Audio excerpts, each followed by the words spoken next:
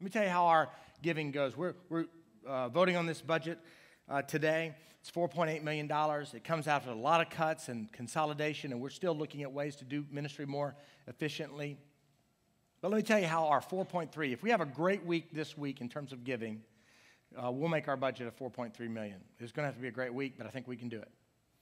But of that 4.3 million dollars, let me tell you how it comes in. 48% of our giving comes from households that give less than less than $250 a year. $250 a year. Okay? So 48% of the $3.2 million comes from gifts on an annual basis. It's almost half of less. You get that? Uh, that startling? Okay. Out of that, consider, you know, it's up to $250,000. 25% of our members give nothing, zero, goose egg. So that's, you know, that's a lot. 48% of our giving is from $250 or less a year, less than $250. 34% of our giving comes from $250 to $2,000 a year.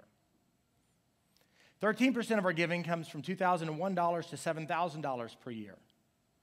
4% of our giving comes from $7,000 to $15,000 a year. And only 1% of our giving comes from over $15,000 a year. So we've always said this is great. Let me tell you this this is as good as it's ever been in 15 years of ministry at River Pointe. This is good. this is exciting. We have more people giving to this mission than we've ever had in the history of this church. But we've always lagged behind because our mission is for those, for those far from God. And so we recognize it takes a long time of real intense growth, maturity, for people to surrender their pocketbook to the Lord and to start giving. It takes a long time. So we've always depended on the mature Christians in our congregation that says, I want to support this outreach. I understand this principle. So we've always been, we've always drugged behind.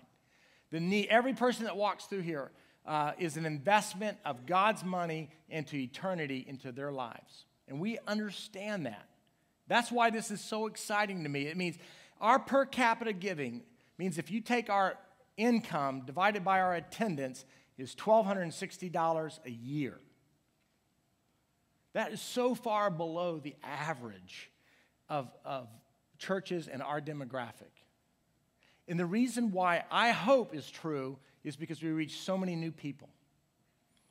But this budget that we've got now, after 15 years of um, ministry, this is a budget that says we've got to step forward. We have to have more people expressing their faith in Christ by their giving.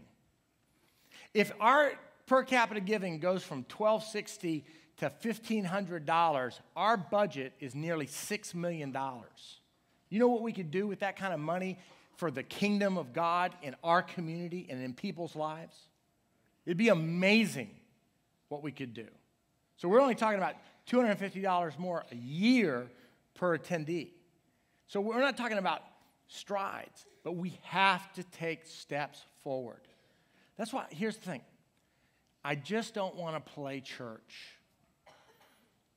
Either this thing's making a difference in your life and you really trust God more than you did last year, or you don't. Just be honest. But don't give lip service to this idea of, man, and my hope is in Christ, and you don't give. It just doesn't work that way. It's not for real. It's some sort of fantasy where you get to make the rules and you're at the center of the story and you get to decide what's spiritually valuable and not. And Jesus didn't let us off the hook with that abstract thinking. He said, Look, you'll, you'll know them by their fruit. Are they givers? So the challenge is be a giver. I mean, everybody comes into these church, church services and say, Well, I'm so glad my brother was here. I'm so glad my neighbor was here. I'm so, we, I don't know why, but I preach sermons that people have a hard time understanding. Is he talking to me? I'm talking to you. If you're a follower of Christ, God's talking to you. Let go of your money. Give that crap away. That's not in the Bible. Give it away.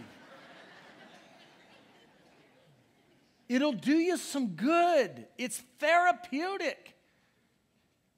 cry as it walks out the door. Oh, we can't do it. And see if it doesn't change. And here's the challenge you start doing that April 1st and do it for a year. And if it doesn't make your life better and your faith stronger and your family richer, stop doing it. But do it for this year. It's a big year for us, okay? if you could. Hey, I've been doing this for 25 years. I'm, I'm going to tell you something. This ain't optional. Man, if I hang on to my money, I'll start thinking I'm God. That's the way it works. I don't own anything, I just manage it. And Job says, The Lord gives and the Lord takes away. Blessed be the name of the Lord.